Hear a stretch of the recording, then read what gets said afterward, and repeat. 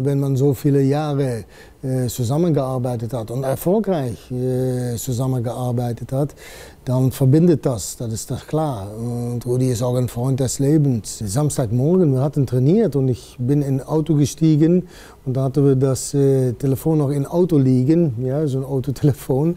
Und äh, dann habe ich äh, meine Berichte abgehört ähm, und dann äh, war da Rudi Asser, war drauf. Ähm, da sagte, ihr Assauer, wenn du Lust hast, ja, ruf mich mal an. Und wenn du interessiert bist, um Trainer von Schalke zu werden, dann melde dich mal. Ja, so wie Rudi das auch tun konnte. Ich fand das super. Ich dachte, dass er vergesslich wurde durch Alkohol. Ja, aber das war gar nicht nachhinein betrachtet. Ja?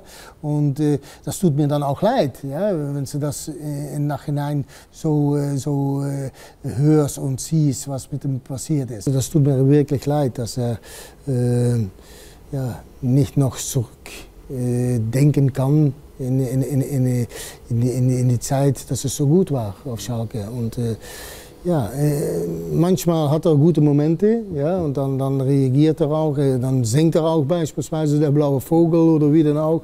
Das ist super, aber ja, es ist schade. Tut mir leid, wirklich.